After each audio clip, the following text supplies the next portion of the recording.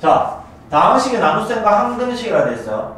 맞죠? 우리 앞에서 배웠어. 다항식의 나눗셈. 자, 다항식의 나눗셈은요. fx를 gx로 나눴더니 몫이 qx고 나머지가 rx입니다를 초등학교 때 검산식 기억나죠? 이 fx는 얘랑 얘랑 곱한 다음에 나머지 더하면 나옵니다. 지 맞지? 근데 얘는 무조건 항상 성립하겠지. 그러니까 다항식의 나눗셈도 무조건 뭐다? 항등식이 성립한다는 거죠. 이해되나? 이해돼요? 그러니까 항상 그걸 생각하고 문제 푸는 거죠. 다항식의 나눗셈도 어차피 좌변과 우변 정리해보면 똑같이 나올 거라는 거야. 맞니? 그거 이용해서 우리가 정리해본다 이 말이야. 자, 문제 사람들 해볼게요. 문제에서 원래 어떻게 됐냐면 자, 식 적습니다. 검산식으로 적습니다. 무조건 이제. 적을 수 있어야 돼요, 이제. 뭐를? x세제곱 플러스 ax 플러스 b를 뭐로 나눴더니 x제곱 마이너스 3x 플러스 2로 나누었더니 그때 나머지가 2x 플러스 1이 되도록 하라 이 말이지.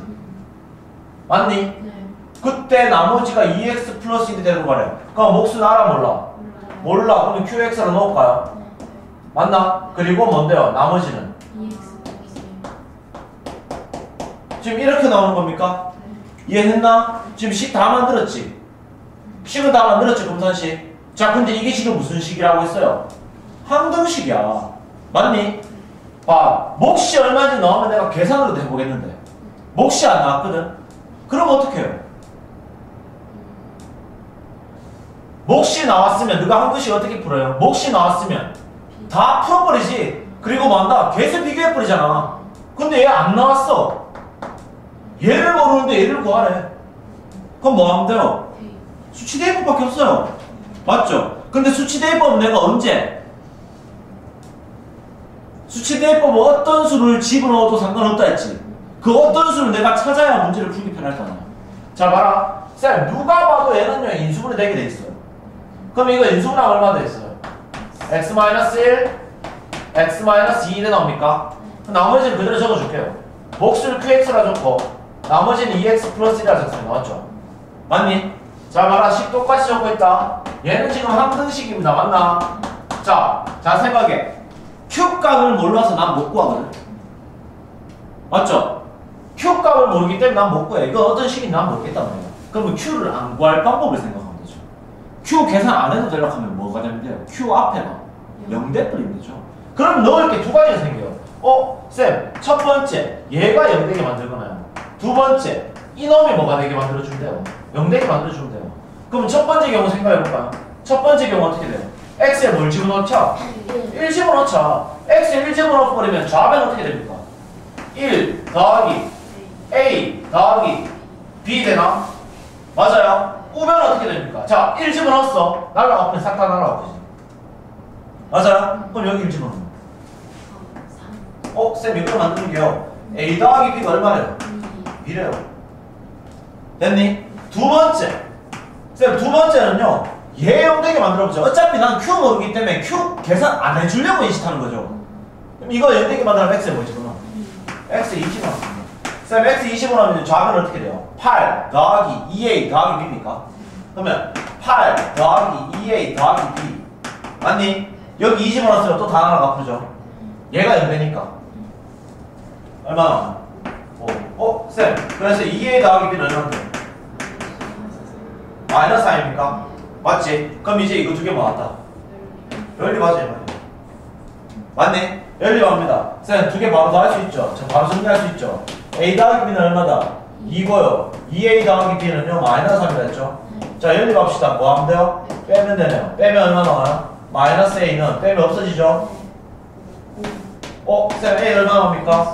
마이너스 5 나오면 돼요. A 마이너스 5 여기 10을 넣네. 넘어가 보면요, B 얼마 돼요? 맞니? 됐어요? 끝났습니다. 이렇게 구한다 이 말입니다. 지금 다항식의 나눗셈도 미수가 나와버리니까 뭐다? 항등식으로 풀고 있죠. 맞나? 내가 얘기했다. 항등식은 뭘 찾기 위한 문제다? 개수를 찾는 문제다.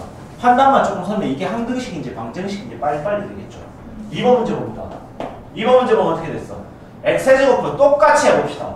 쌤 얘는요. x제곱 플러스 ax제곱 플러스 bx 플러스 2인데요. 얘를 뭐로 나누었더니 x제곱 플러스 x 플러스 1로 나누었더니 몫이 뭔데요? QX래요. 그리고 나머지는 뭡니까? 나머지는 뭐다?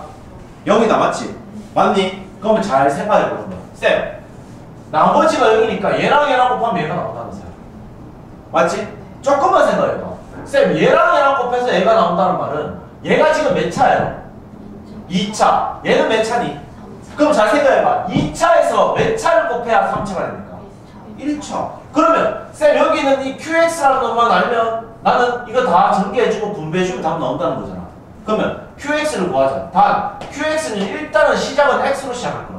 왜? X제곱이랑 X랑 곱해야 뭐가 나올 거거든? X제곱이 나올 거야. 맞니? 그 다음에 쌤 여기 있는 상수랑 여기 있는 상수 곱하면 여기 있는 상수 나온다는 것도 알고 있죠. 그럼 얘가 플러스 1이네요. 그럼 얘는 뭐가 돼야 돼요? 플러스 2가 되겠죠. 무슨 말인지 이해되겠어요? 무슨 말인지 이해됐니? 끝났네. 쌤, 그러면 얘들 둘이가 지금 식 나왔기 때문에 쌤, 이 식은요, 지금 x제곱 플러스 x 플러스 1에다가 뭘 곱하는 건데, 이거 맞니? 전개, 좌변은 끝나고, 좌변 계산할 편, 그게 없죠? 우변 정리합시다. 앞에 곱하면요. 얘랑 얘랑 곱하면요. 2x제곱이가 얘랑 얘랑 곱하면요. x제곱이고요. 얘랑 얘랑 곱하면요. 2x고요. 얘랑 얘랑 곱하면 x고요. 얘랑 얘랑 곱하면 2입니다. 쌤 이거 계속 정리하니까요. x제곱 플러스 3x제곱 플러스 3x 플러스 2입니까? 맞아요? 끝났네. 계수 비교. 따라와서 a 얼마인데? 3이고요. b 얼마인데? 3이네요. 라고 나오는 문제예요. 정리되겠어요? 이해됐나? 자, 그 책에 보면 다른 풀이도 나와 있습니다. 어떻게? 얘를 얘로 나눠서 나머지가 뭐 나와야 돼? 0 나와야 되거든. 목수 뭔지 모르지만 나눠봐. 문제에서 그걸 나눠보래. 다른 풀이 보입니까? 자, 그렇게 되는데 이런 방법 알고 있어야 돼요. 왜냐하면 내가 앞으로 모르겠으면 뭐한다? 미지수를 내가 또 만들어 놓고 정리를 해봐야 되거든요. 그러니까 이렇게 푸는 걸 추천합니다. 되겠어요?